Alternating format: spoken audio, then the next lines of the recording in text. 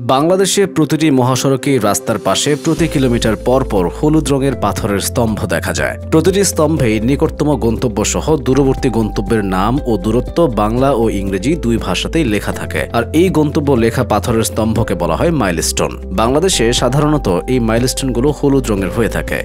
আর এর মাঝে কালো রঙের লেখা থাকে গন্তব্যের নাম ও দূরত্ব। কিন্তু জেনে অবাক হবেন যে প্রতিবেশী দেশ ভারতের মাইলস্টোনগুলো আলাদা আলাদা রঙের হয়ে থাকে। মাইলস্টোনগুলো কোথাও কমলা কোথাও হলুদ, আবার কোথাও সবুজ। অবশ্য আলাদা আলাদা রং ব্যবহার করার পেছনে রয়েছে বিশেষ এক কারণ। মূলত এসব রং কিছু নির্দিষ্ট স্থানকে নির্দেশ করে। আসুন জেনে নেওয়া যাক কোন রং কি অর্থ নির্দেশ করে। কমলা রঙের মাইলস্টোন। সুদীর্ঘ রাস্তার পাশে যদি মাইলস্টোনে কমলা দাগ থাকে, তবে তা গ্রামের রাস্তাকে নির্দেশ করে। অর্থাৎ ভারতে যদি কোথাও কমলা রঙের মাইলস্টোন দেখা যায়, তার অর্থ দ্বারায় গাড়ি এখন কোনো গ্রামীণ সড়কে রয়েছে। মূলত ভারতের পঞ্চায়েত এলাকায় এগুলো দেখতে পাওয়া যায়। হলুদ রঙের মাইলস্টোন। অন্যান্য দেশের মতো ভারতেও ঠিক একই কারণেই হলুদ রঙের মাইলস্টোনের ব্যবহার দেখা যায়। মূলত হলুদ রঙের মাইলস্টোন জাতীয় সড়ক পথকে নির্দেশ করে।